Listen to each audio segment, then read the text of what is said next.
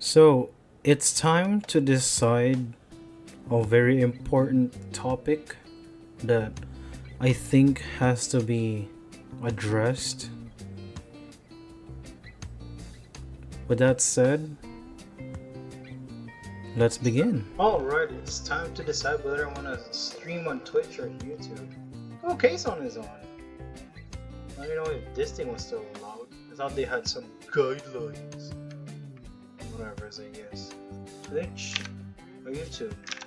Twitch or YouTube? Oh, actually, I, hold on, I'm not even logged in. Let's see.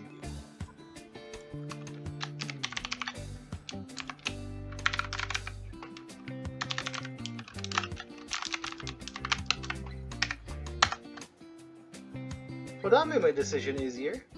Damn.